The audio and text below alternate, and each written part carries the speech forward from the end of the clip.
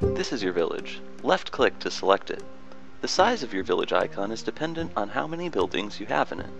Every village you see on the map is owned by a player. Players can own more than one village. At the highest level, players can own a total of 25 villages. Every village is situated within a parish. Every parish has a capital, which is managed by the steward. Every parish is inside of a county. Counties also have a capital, which is managed by the sheriff.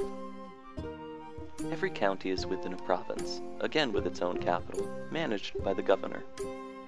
All the provinces combined make up a country, also with its own capital, managed by the king.